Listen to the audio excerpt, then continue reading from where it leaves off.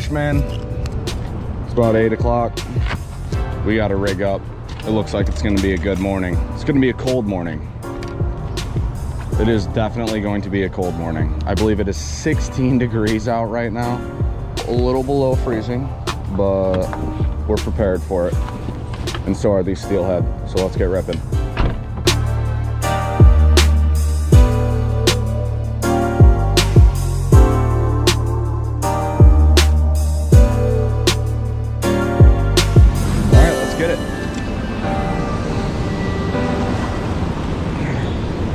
Got a good feeling.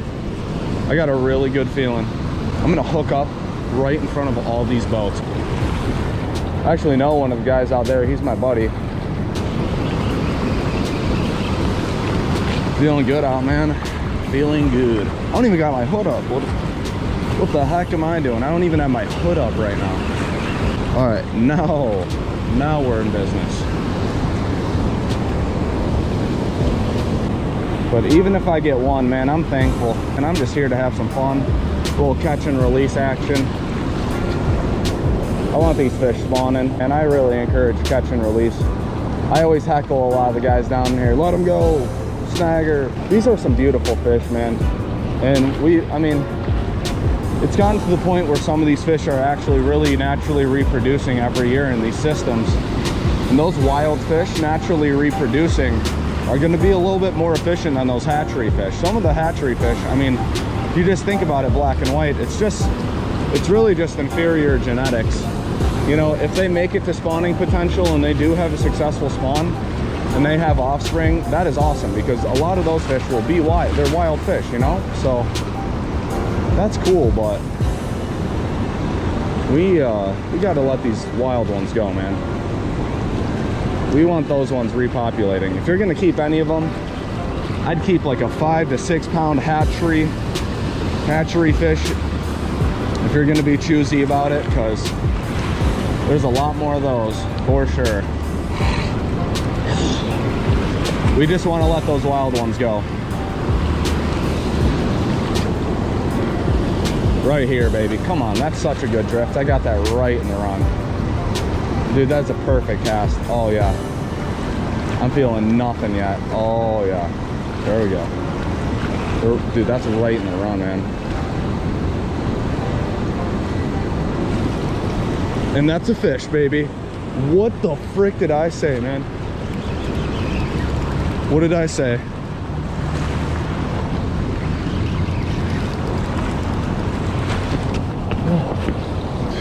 It's a freaking ice skate out here, baby. And we're locked up. We're locked up. What did I say? That was right in the run. That was right in the run. And look who's having fun. The guy on shore, baby. Let's go. Let's go. Let's go. Let's go. We're locked up, baby. He's in the...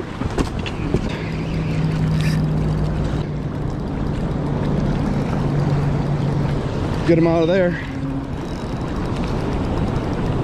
Oh, he's right there, man. Right there. Colored up beautifully, man. Right in the chomps. Look at this, guys. Let's get you in here. Surfing on in. We got a nice hen. And we have landed a fish once again. And would you look at that, man? If that ain't a bead take, I don't know what that is, brother. Because that is textbook. I want to keep her in the water. Don't want her head banging on the rocks too much.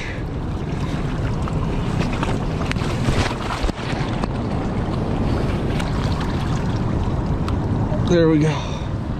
Look at how beautiful that fish is, man. Wild. That's how you tell it's wild. That fin right there, that's the adipose fin. Probably a nice five, six pounder. And she's gonna live another day. And she kicked off strong, baby. Let's go. On the boards. And I tell you what, man, this ice is dangerous. There are plenty more of those to come, baby. Let's get it, man.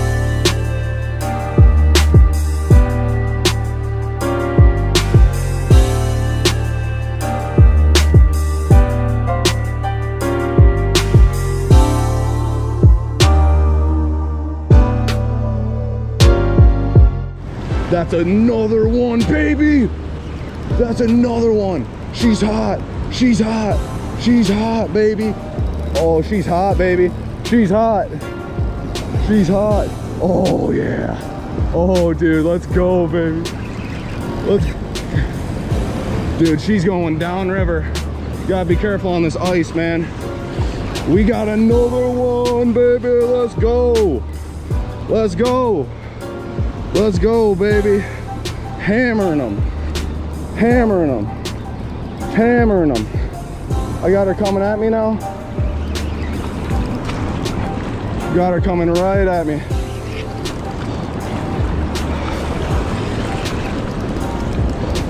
Oh, she's swimming right at me. No way. Come on. Give me it. Give me it, baby. Give me it, baby. She's right here. Oh, it's a buck. What did I say? What did I say, bro? When there's hens, there is bucks. This is probably the prettiest buck I've caught all year. Two for two, baby. What it do? Two for two. What it do? What it do? And look at you, my friend. That is a beautiful Great Lakes, Lake Michigan steelhead right there, my friends. I tell you what, there's a three catch limit here in Michigan. If you catch, if you can keep three trout right in the chomps, dude, right in the chomps. And we have a beautiful, and I mean absolutely beautiful buck steelhead right there. That is as good as it gets, my friends. Look at how beautiful that fish is. Now, do you notice how this one doesn't have the adipose fin right there? They clip them when they're a hatchery fish. And we're gonna let her, let him go to live another day, baby. Goodbye. Let's go, baby! I got fish slime freezing to my jacket right now. I don't know if you guys can see that. Dude, this is awesome. All right. I like to check my leader after catching a couple because, you know, they like to run into the rocks. This right here, guys, I would like to show you is an indicator that they are taking the bead. Now, when I set this bead up, as you guys probably remember earlier, I had it set up here. You want to have it three inches above. What happens is they're gonna, you know, my hand's the mouth. They grab it, you've got tension on the line, and it pulls the hook right into place. So what happens a lot of times is sometimes when you get a hookup or sometimes after you catch a fish, you'll notice your bead is down here. That means that they took the bead and as you guys saw, that was right in his chomps, man. He wanted all of that. So we're gonna slide it back up three more inches, pull it tight to make sure we've got a flush, a flush layout with our hook to our bead right there. And we're gonna go get another one. We got our medium drift. Oh, did you see that? Oh my god. Dude. Oh man, that didn't feel small, guys. That did not feel small. Let's see the bead. Uh-huh.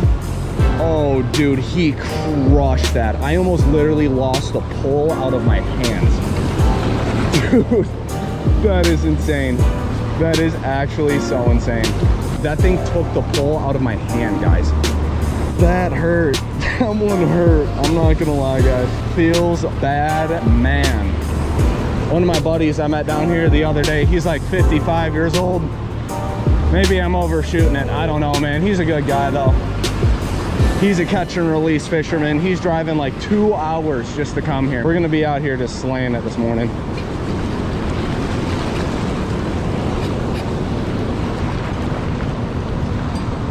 Oh. I brought all my shit. I'm staying and I'll be fishing tomorrow. Right on, dude. I mean, that's a fish. There he is. Stick up!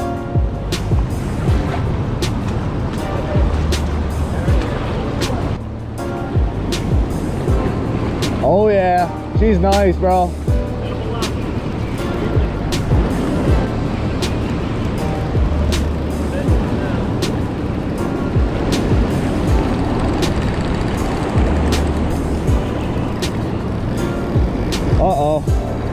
Gotta get her out.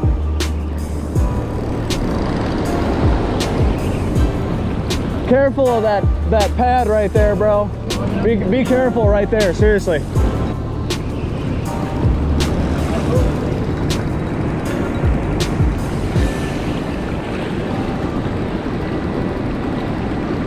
Head, shakes. Oh, she's right here.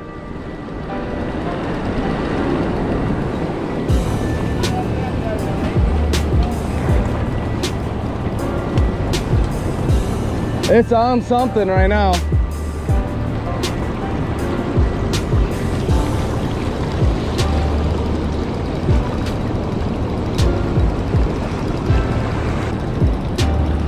Oh, this might be nice, dude. Oh, that ain't that big. Right in the chomps, baby. Chunker, man. Stop freaking out.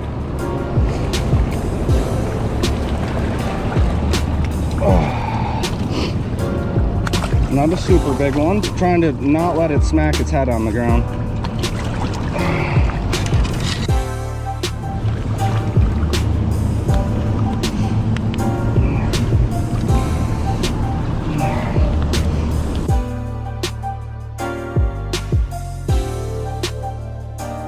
Beautiful colors.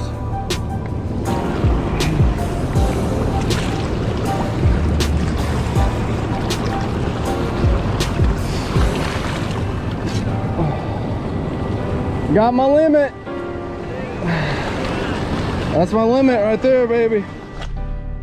Yo, what is going on guys? Just got off the water. I have got to say that was an absolutely outstanding morning of fishing. I could not have asked for a better morning. Perfect sunshine, a little bit of clouds rolled in at the start, opened up a really nice morning and we got three fish, which is actually the limit you can keep for steelhead in Michigan. We didn't keep them any, we, we let them all go. If I can get one fish a day, one steelhead a day, I'm honestly a pretty happy camper, but we got three today, man, and Unfortunately, I'd probably keep streaming, but or uh, fishing, but I got to start up my stream. I go live every single day at 12 p.m. on twitch.tv. But I hope you guys enjoy that short video. It was I had such a blast recording it. It was awesome start to finish and many more to come, guys. Peace.